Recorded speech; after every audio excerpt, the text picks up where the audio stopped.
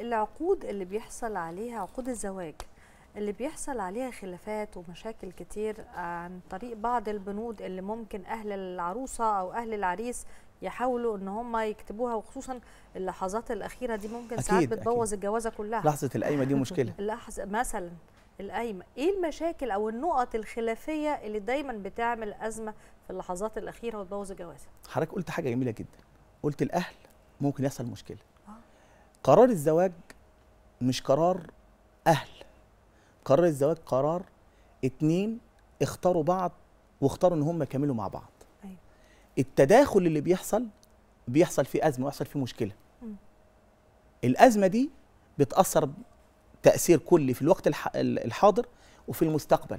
أيوه بس البنت ما تقدرش تقول لأهلها مالكمش دعوة ب- لا في فرق بين إن أنا ما أقولش آه. لا هو ال ال إن أنا ما أقولش ل- ما لوالدي تبرعش لا واقول تفاصيلي لا، لا. عشان ما أعملش مشكلة. الله يبارك في حضرتك. آه. هي الفكرة كلها إيه؟ الفكرة كلها إن أنا أنا واللي اخترته إحنا خلاص اتفقنا وكل حاجة. الأمور المتعلقة ببند العقد دي أمور حياتنا حياتية بيننا إحنا هنعيشها. آه. الشروط دي دي شروطنا إحنا. إحنا هنعيش إزاي؟ هيبقى في شرط على مثلا على العمل آه ولا لا هيبقى في. شرط الشروط دي كلها اللي بيتفق عليها مين مم. اللي هو الزوج والزوجة اللي هم هيعيشوا مع بعضهم.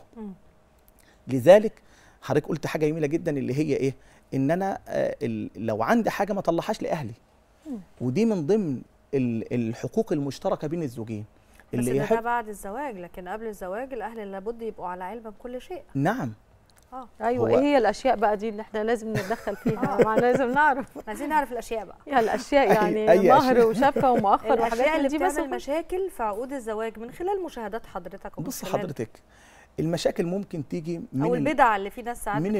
التاتش بتاعها يعني. المغالاة. المغالاة في الإيه؟ في التجهيز.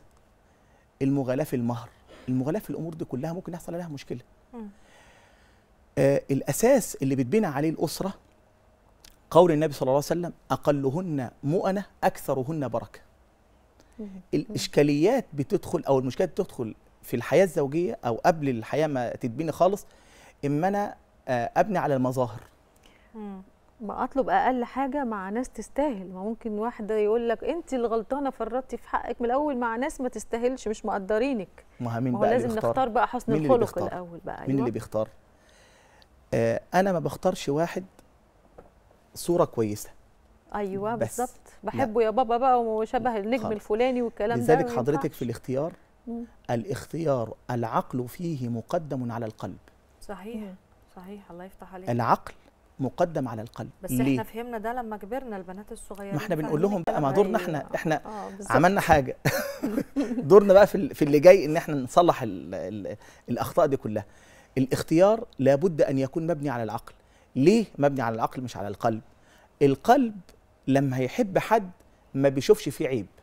آه مراية الحب عمي. ما بيشوفش فيه عيب خالص. مم. إنما العقل هو اللي بيقول الشخص ده مميزاته كذا وكذا وكذا عيوبه كذا وكذا وكذا يبقى إذا الشخص ده هقدر إن أنا أعيش معاه بهذا الوضع ولا لأ؟ مم. إما العقل يقول لأ. أقدر أعيش مع العيوب دي ولا لأ؟ الله يبارك في حضرتك. العقل يقول لأ ده مناسب. العقل بقى وقتها يدي إشارة للقلب حب ده عشان خاطر كذا وكذا وكذا. لكن بيحصل الإيه؟ العكس. آه بيحصل حب. فطبعا مهما تقولي للشخص أو تقولي للبنت لأ ده في مشكلة كذا. قفلت خلاص عاملة بلوك لأ على أنا ده. قراري وهختاره. آه، والدها يقول لها طب هو في مشكلة؟ هيحصل مشكلة؟ أنا مش. مش بعاند معاكي ولا حاجة بس في مشكلات كذا وكذا وكذا لازم لازم ناخد بالنا تقول هاخده تقول واغيره هاخده وأغيره برضو أنا مقتنعه بيه. هي دي إشكالية الإيه إن أنا. اخترت. بقلبي قبل عقلي صحيح لازم يبقى في كونسولتو نعم إنه العقل الأول وبعدين نبتدي نشغل القلب يتفقوا سوا ونبتدي نتوكل نعم. على الله نعم.